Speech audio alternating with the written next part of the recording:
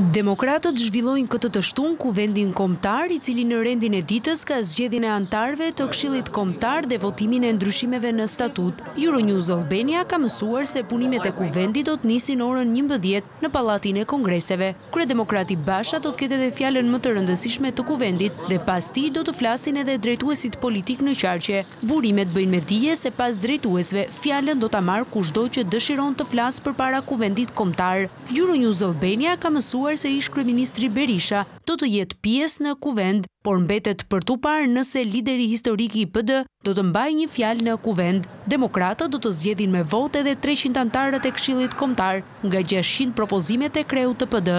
Ndërkohë pjesë e votimit janë edhe ndryshimet në statut të propozuara nga kryedemokrati, që parashikojnë zgjerimin e kryesisë, sekretariatin dhe shtimin e strukturës së përhershme të Këshillit Koordinues të Qarkut.